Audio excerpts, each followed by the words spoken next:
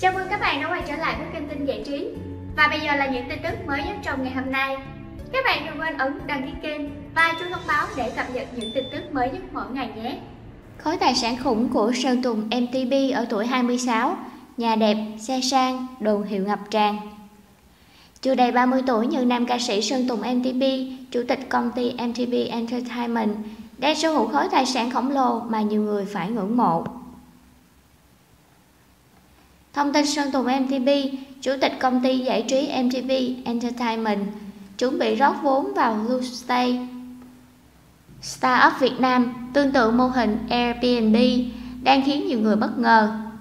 Việc rẽ ngang lần này sẽ đánh dấu bước phát triển đặc biệt trong sự nghiệp của chàng trai gốc Thái Bình. Không chỉ là ca sĩ, diễn viên, chủ công ty mà còn ở vai trò mới là nhà đầu tư. Tuy nhiên nếu điểm qua số tài sản khủng mà Sơn Tùng đã tích lũy các năm, có thể thấy vai trò mới này cũng hoàn toàn phù hợp. Vốn kính tiếng về đời tư, Sơn Tùng chưa từng tiết lộ về những tài sản mình đang sở hữu. Nhưng qua những gì báo chí nói về chàng trai này, có thể thấy thu nhập của anh đến từ ba nguồn chính. Các xe đi hát, làm gương mặt đại diện cho nhãn hàng và một phần từ việc phát hành MV trên YouTube. Sở hữu nhiều hit được giới trẻ yêu thích, lại liên tục lọt top các bảng xếp hạng về âm nhạc. Cách của Sơn Tùng có thể là con số khó đoán, nhưng chắc chắn không hề thấp. Trước đây, đạo diễn Việt Tú từng chia sẻ trên trang Facebook cá nhân của anh về Sơn Tùng MTP rằng Theo nguồn tin mới nhất, ông em Sơn Tùng, ca sĩ Sơn Tùng MTP, sẽ sớm đi vào kỷ lục khi là nghệ sĩ đầu tiên tại Việt Nam lĩnh lưu sự kiện 9 số 0. Một tài khoản Facebook khác lại gây xôn xao khi tiết lộ các CH của Sơn Tùng MTP là 1,2 tỷ đồng.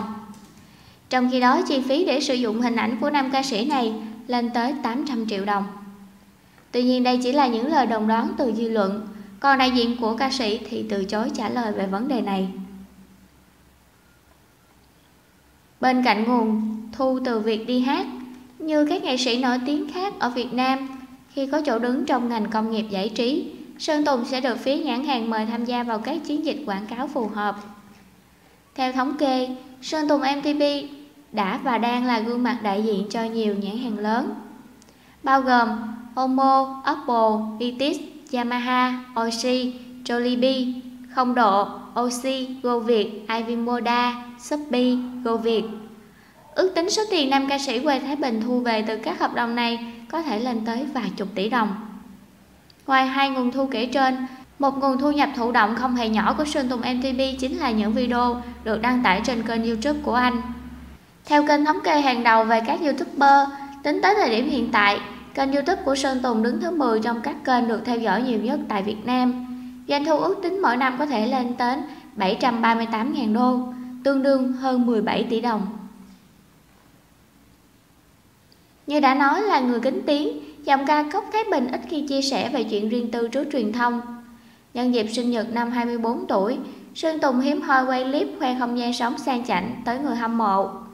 Được biết nam ca sĩ đang sở hữu căn hộ cao cấp sang trọng tại quận 7, thành phố Hồ Chí Minh với thiết kế đơn giản, hiện đại và đầy đủ tiện nghi.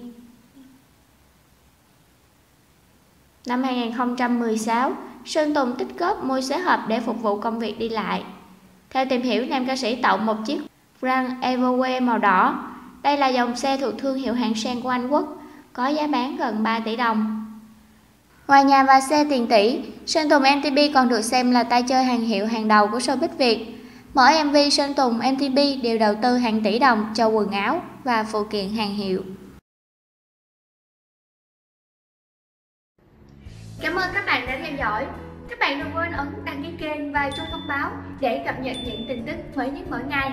Xin chào và hẹn gặp lại các bạn trong những video tiếp theo.